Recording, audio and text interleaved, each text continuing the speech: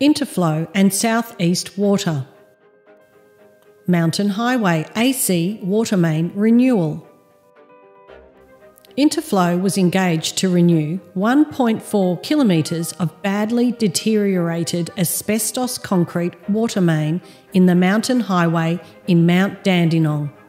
A trenchless renewal method was chosen over a traditional dig and replace approach to overcome site related difficulties, including a winding, narrow road with heavy recreational traffic, deteriorating asbestos piping, and soft and unstable soil conditions across a steep slope.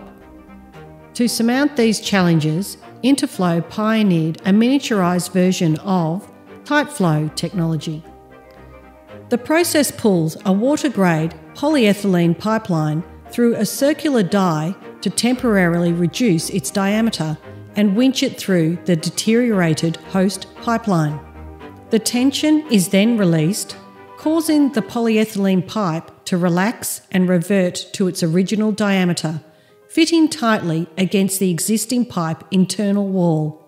Modifying the technology to a smaller variable internal pipe diameter with multiple S bends and misaligned pipe joints required off and on site testing, reworking equipment, and close monitoring to ensure that the winch tension did not exceed the yield strength of the pipe. The TightFlow method of water main replacement resulted in significant cost savings, minimised worker exposure to asbestos, reduced excavation disruption, and improved environmental outcomes by reducing the project's carbon footprint by approximately 60%.